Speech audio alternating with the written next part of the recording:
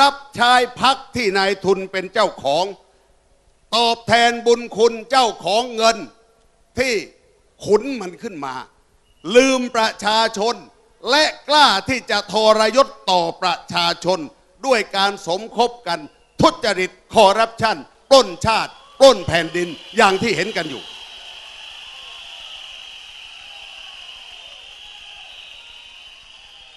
แถมยังกล้าที่จะใช้อำนาจแบบเผด็จการ ไม่ฟังเสียงประชาชนเจ้าของประเทศ ไม่ฟังเสียงประชาชนเจ้าของอำนาจอธิปไตย มันไม่เกรงใจประชาชน แต่มันเกรงใจมันกลัวนายทุนเจ้าของพักเพราะพักการเมืองเป็นพักของนายทุน ผมจึงบอกกับกกตว่า ถ้าจะให้การเลือกตั้ง มันเป็นประชาธิปไตยจริง ๆ มันต้องแก้ที่พักการเมืองก่อน กกตต้องไม่ยอมให้นายทุนมาตั้งพักการเมือง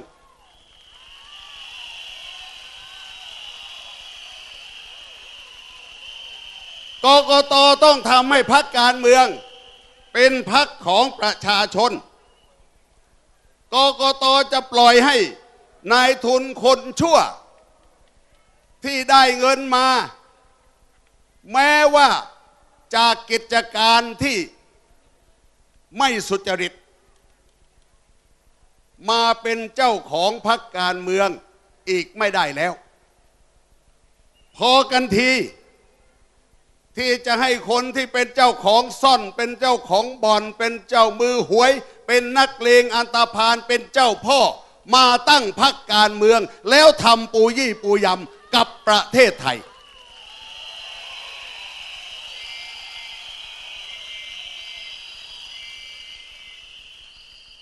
พอกันทีที่นักโทษหนีคดี อย่างทักษิณ จะยังทำตัวเป็นเจ้าของพรรคการเมือง และบงการพรรคการเมืองได้อย่างเปิดเผย โดยกกตก็รู้ก็เห็น ว่าเขาบงการตั้งตัวแทน ตั้งนอมินี มาทำหน้าที่เป็นหัวหน้าพัก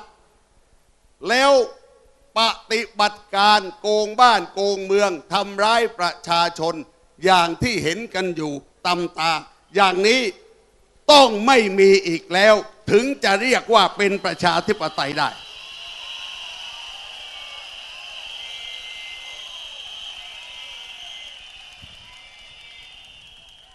ผมได้พูดกับกกตว่าแม้แต่เรื่องนโยบายพักที่ใช้ในการหาเสียงกกตก็ต้องควบคุมให้ได้ นโยบายประชานิยม ที่ทำให้ชาติเสียหาย ขาดทุน ประชาชนเดือดร้อน เช่นเรื่องนโยบายจำนำข้าวที่เราเห็น อย่างนี้เอามาเป็นนโยบายของพรรคการเมืองในการหาเสียงไม่ได้ เพราะนี่คือการเอาเงินภาษีอากรของคนทั้งประเทศ มาซื้อคะแนนเสียงโดยทางอ้อมนั่นเอง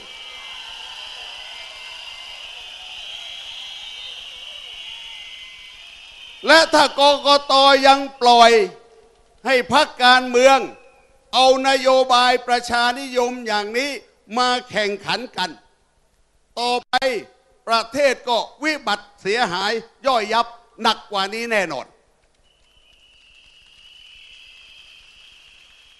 ผมเรียนกับกกตว่ากกตต้อง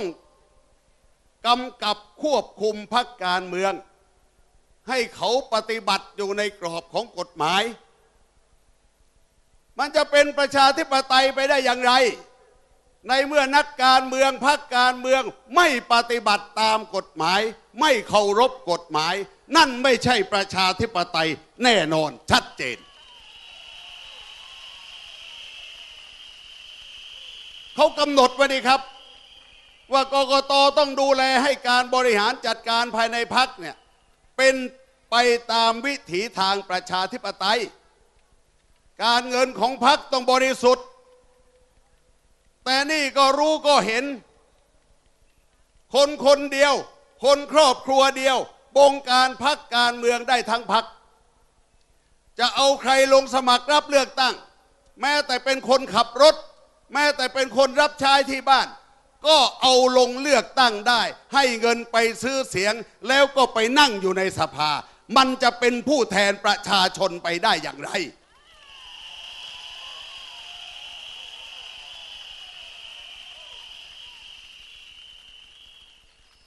ผมบอกกับกกตว่า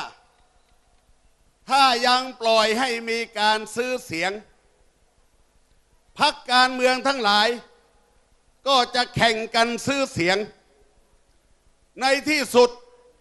ก็จะมีแต่คนชั่วที่มีเงินและไม่เคารพกฎหมายเท่านั้น ที่จะเข้ามาเป็นผู้แทนเต็มสภา แล้วอย่างนี้จะปล่อยให้มีสภาไปทำไม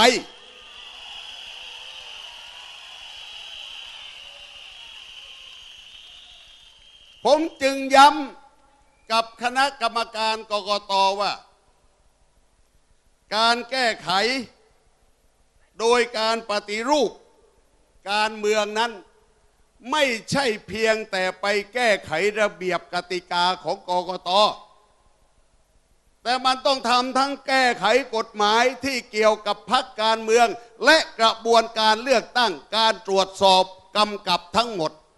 นี่จึงจะต้องเรียกว่าเป็นการปฏิรูปครั้งสำคัญที่จำเป็นต้องทำประเทศรอไม่ได้อีกแล้ว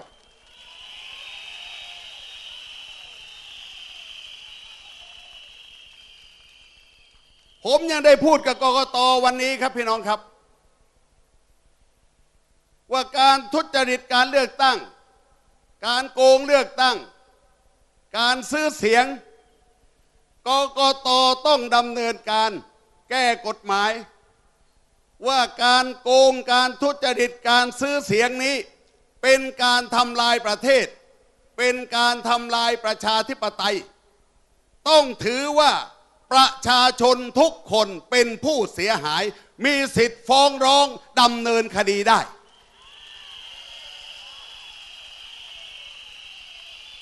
และผมยกตัวอย่างเลยครับ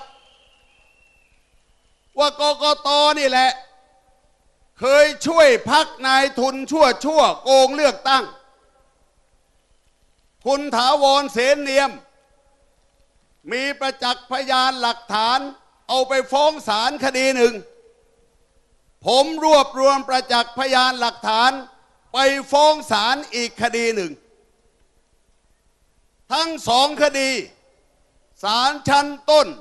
ศาลอุทธรณ์ลงโทษจำคุกคณะกรรมการกกตหมดทุกคนที่ถูกฟ้อง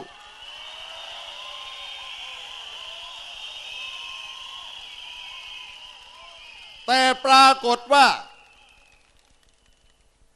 เมื่อจำเลยไปยื่นดีกา ในคดีของคุณถาวรเสนเนียมศาลดีกายกฟ้อง เพราะคุณถาวรเสนเนียมไม่ใช่ผู้เสียหายตามกฎหมายเลือกตั้ง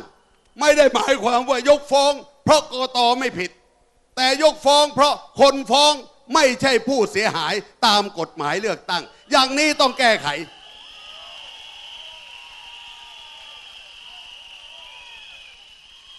ส่วนคดีที่ผมฟ้องนั้น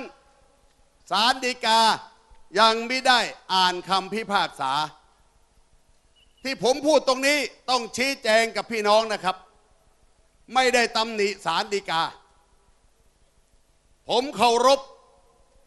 ในการพิจารณาคดีของศาลแต่ผมชี้ให้เห็นว่ามันมีข้อบกพร่องอยู่ที่กฎหมายเลือกตั้ง ไม่ได้เขียนเอาไว้ว่า เมื่อคนโกงเลือกตั้ง ทุจริตการเลือกตั้ง ถือว่าทำร้ายประเทศ ถือว่าทำร้ายประชาชน ถือว่าทำร้ายระบอบประชาธิปไตย ต้องให้คนไทยทุกคนสามารถฟ้องดำเนินคดีได้ เมื่อรู้เห็นเหตุใด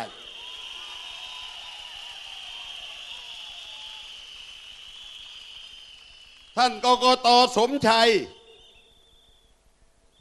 บอกว่า ขอขอบคุณมวลมหาประชาชน ที่เปลี่ยนใจไม่ก่อเหตุรุนแรง เมื่อวันที่สองกุมภาพันธ์วันเลือกตั้ง ผมก็ได้เรียนบอกว่า เราต่อสู้อย่างสันติ เพราะเราเป็นพลเมืองดี ไม่เคยคิดที่จะใช้ความรุนแรง มีแต่ฝ่ายอื่น ใช้ความรุนแรงกับเรา ประทุษร้ายเราฆ่าเรา เมื่อคืนก็ฆ่าพวกเราไปอีกสามคน ผมถามว่ากกตรู้สึกอย่างไรบ้างครับ ที่เขาฆ่าประชาชนอย่างพวกผมเนี่ย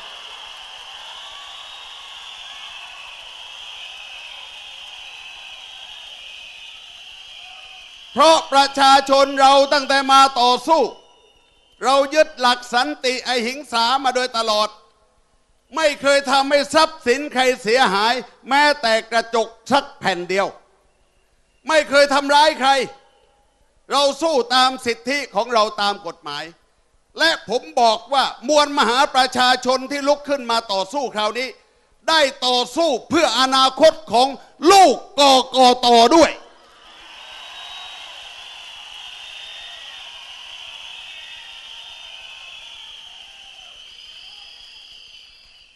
กกตเขาพูดในข้อสามว่าเขาเห็นว่าการที่เราจะเปลี่ยนแปลงแก้ไขอะไรต่างๆนั้น มันมีข้อจำกัดมากมาย เขาไม่เชื่อว่าจะทำได้สำเร็จ ไม่ว่าจะใช้เวลาสักเท่าไหร่ เพราะไม่ใช่เรื่องง่าย ที่จะแก้ไขที่จะปฏิรูปประเทศ ตามที่ประชาชนต้องการ เขาบอกว่าการปฏิรูปนั้นกกตเห็นว่าควรจะทำเป็นสองส่วน ส่วนแรกคือปฏิรูปก่อนการเลือกตั้ง อะไรที่ทำได้ทำไป เช่นการแก้ไขระเบียบต่างๆของกกต ส่วนหลังไปทำหลังจากการเลือกตั้งแล้ว แล้วยังถามอีกครับว่า มวลมหาประชาชนจะยอมรับได้ไหม ถ้ากกตจะจัดการเลือกตั้งขึ้น ในไม่ช้านี้ คือประมาณ 3-4 เดือนข้างหน้านี้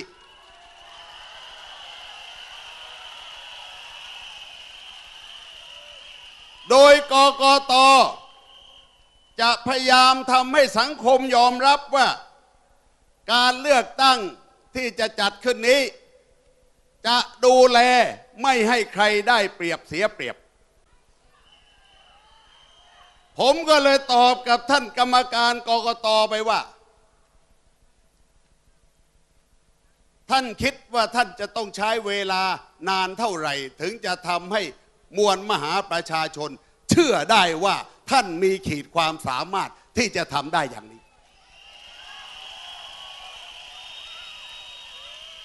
แล้วผมบอกกับกกตด้วย